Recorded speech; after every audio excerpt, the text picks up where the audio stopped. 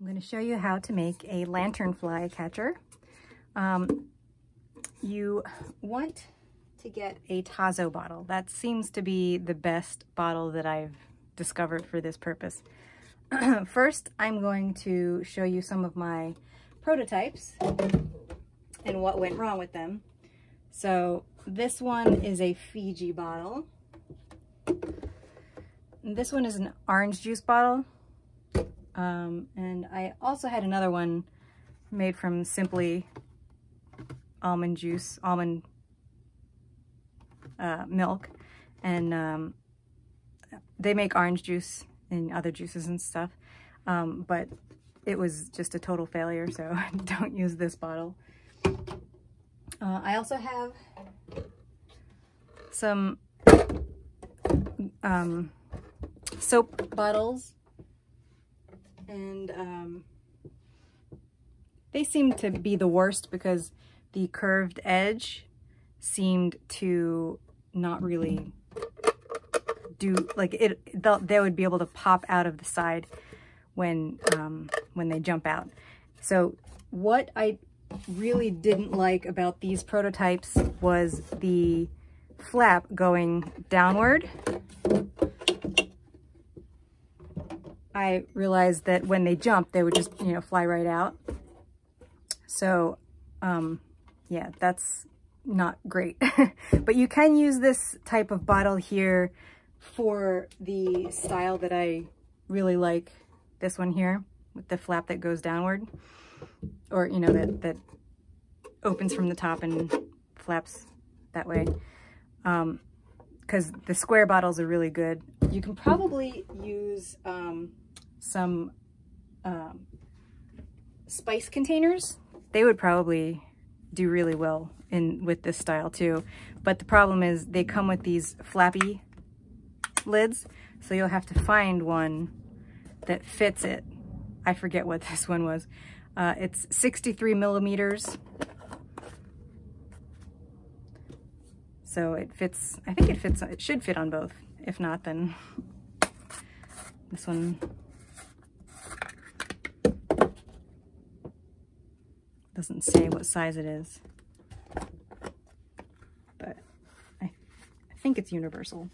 Yeah, it fits on well. So 63 millimeters for the spice jars.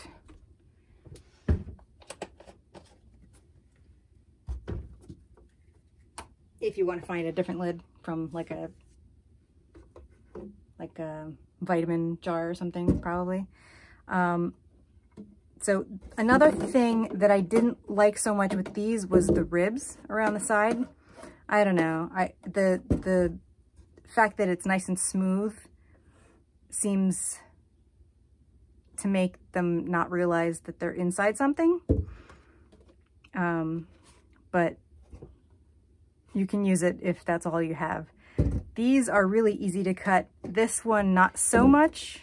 Um, I forget which orange juice this was, but another problem is that the lid on these ones are really, really soft. So I wouldn't, I wouldn't recommend this style orange juice container. But I'm sure you can work it, work it if you can, if you have it. Um, if you use like a soda bottle style one, um, those lids are really strong. So you'll be able to make a really strong um, lid to screw on to your broom handle. so strong that it's difficult to get on the first time. So just screws right on there and then the bottle can screw on like that. Works really well.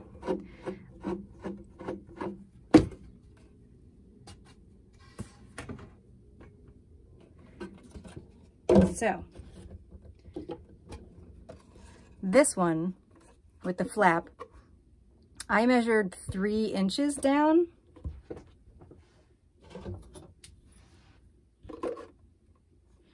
And it seems to do, do really well, except this area that that's right at the top here it seems like they can see it really well because they seem to aim for that spot and they get stuck here. So two and a half might actually work slightly better because when you, if they get stuck here and you, you know, jam it down to try to have them get dislodged from it and go back down into it, it it's, it takes more effort than if there was slightly more space away from the wall. Hmm. I mean, you can you can try both and see which one works better for you, but somewhere between two and a half to three inches, if you're using this bottle, is really good. Um, and I learned with this style, they tend to climb up the edge as well. So maybe try cutting like exactly right here on this side here. So another reason why I like the Tazo bottle is because the label peels off cleanly and quickly. You don't have to get out your um, Goo Gone or anything. The soap bottles I really, really didn't like because they left this behind and I don't know, it, it seemed a lot of extra work to Goo on it to get it clear.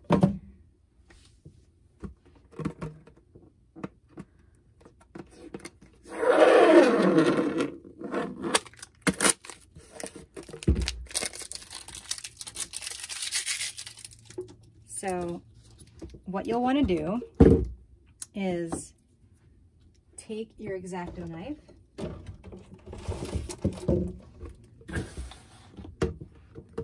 and so I'm going to try the two and a half one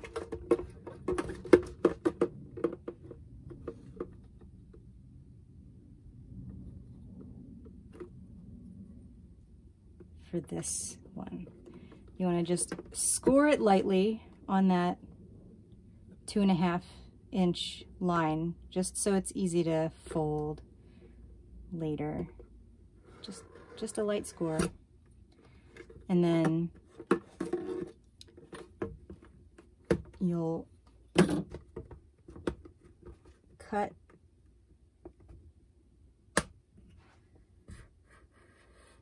straight up.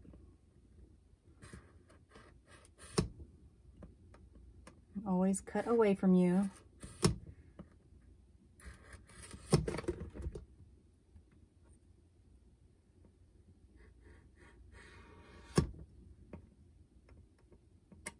Do multiple scorings because if you use too much effort, then you're more likely to hurt yourself.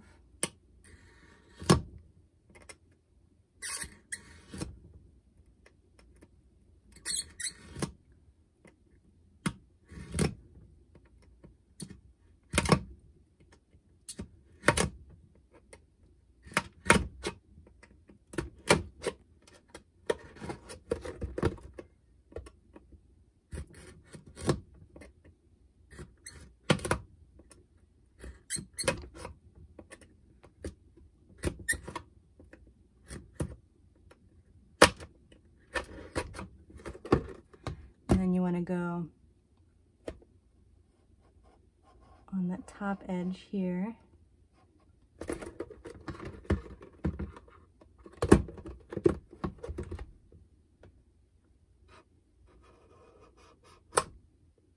can always cut with scissors later.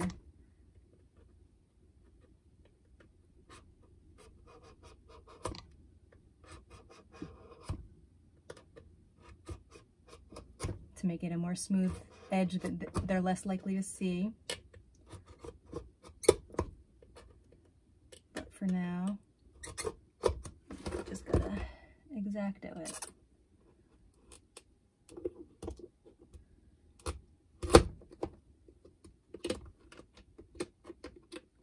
To be able to get the knife down in.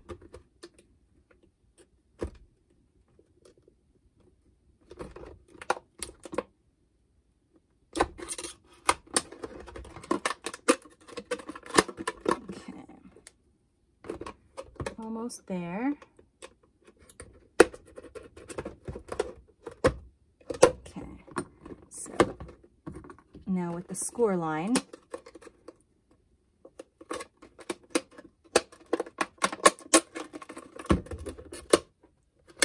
you can fold that down where the score line is and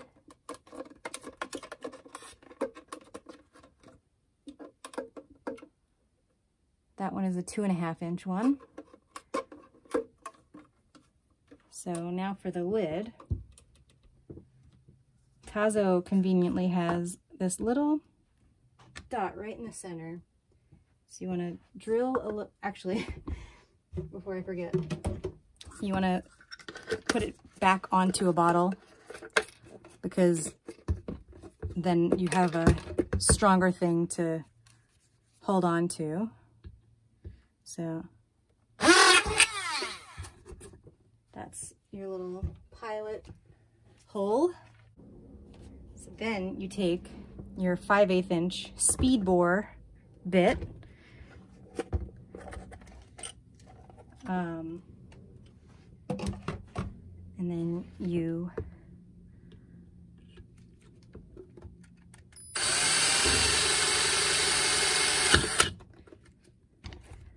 poke a hole.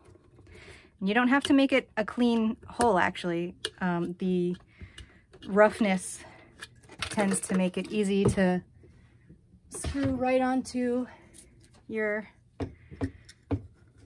mop handle. And just press down a little bit and then it screws right on.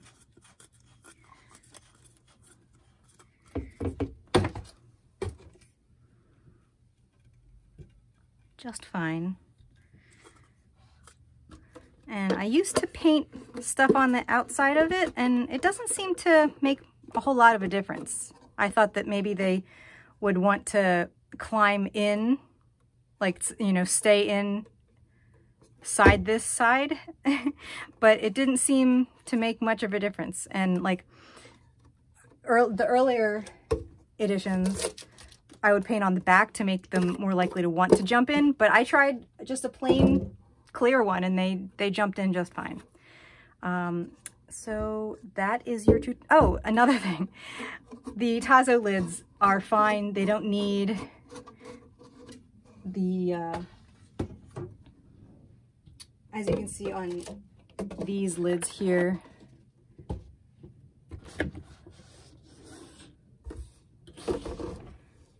I made like little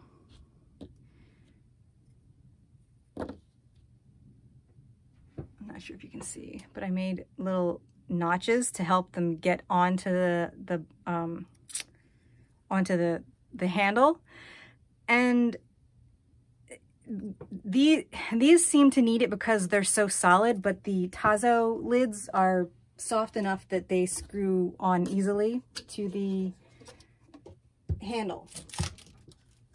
You may want to get a some sort of nut that fits on here. I'm not sure if they make something like that. They they probably do, but to keep your Tazo bottle on, you might want to screw some sort of nut on there.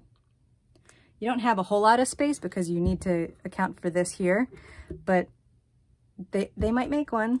I haven't, I haven't, um, found, I haven't looked for them, but it seems to wobble a little bit. So if there was a, a nut that would hold it flat, that, that could keep it on a little bit better. So I went to the hardware store and they don't seem to have any nuts that work. So I MacGyvered by putting the soda bottle lid upside down and screwing that in tightly and it's very little wobble.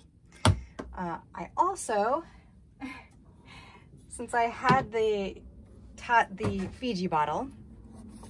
I made the test with the new type of flap and I didn't even bother goo-goning the label and this label I, I just left on just to see if it would affect how they jump out.